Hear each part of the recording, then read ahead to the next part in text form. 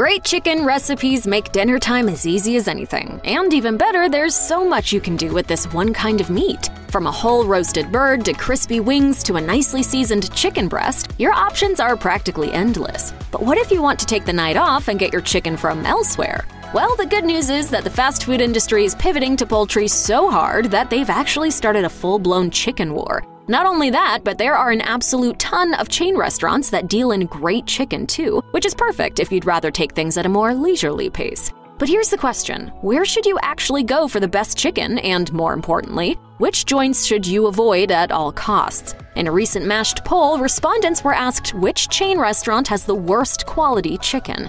In a poll with 593 respondents from the United States, just over 21% of people said that Applebee's has the worst quality chicken. The other options in the poll were TGI Fridays, Chili's, The Cheesecake Factory, O'Charlie's, and Cracker Barrel. Chili's was a close second, with just under 20% of respondents saying that the chain has the worst chicken of the bunch. Third in line with the worst chicken was O'Charlie's, according to around 15% of the votes. Meanwhile, TGI Fridays and Cracker Barrel were tied at just over 15% of respondents, while the Cheesecake Factory received a little under 14% of the votes from poll participants.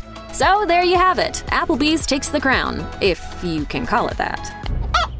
And this isn't the first time Applebee's has taken the brunt of customer complaints. A few years ago, a Reddit poster asked which restaurants people would swear to never go back to, and many, many users mentioned Applebee's. And some of those comments had a lot to say about the chain's chicken. For example, one user wrote, Went to Applebee's and my boyfriend got chicken tenders, aka hockey pucks in the shape of tenders. Another commenter mentioned how they had been served raw chicken in their grilled chicken salad, and the restaurant didn't even take it off the bill.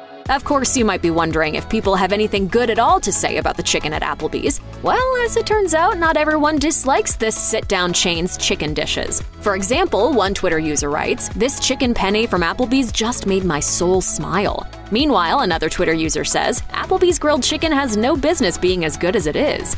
Maybe it's a case of knowing which dishes to choose and which to avoid. Certainly, you'll want to stay away from the Oriental chicken salad. A few years ago, one Reddit user posted, My sister worked there. She told me that was one of the least healthy things you can order on the menu because of the salad dressing. And then she would tell me how people would order extra dressing and then pat themselves on the back for being healthy and ordering a salad. This will come as no surprise to many, of course, as the food at Applebee's isn't exactly known for its nutritiousness. Aside from that salad dressing, there are a handful of other things on the restaurant's menu you'll want to steer clear of, too. For example, the chain's loaded fajitas, loaded baked potato soup, and the frozen strawberry lemonade are counted among the least nutritious items on the menu.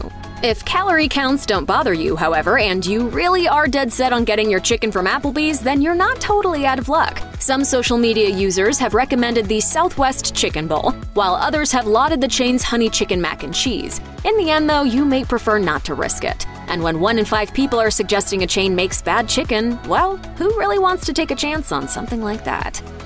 Check out one of our newest videos right here. Plus, even more mashed videos about your restaurant options are coming soon. Subscribe to our YouTube channel and hit the bell so you don't miss a single one.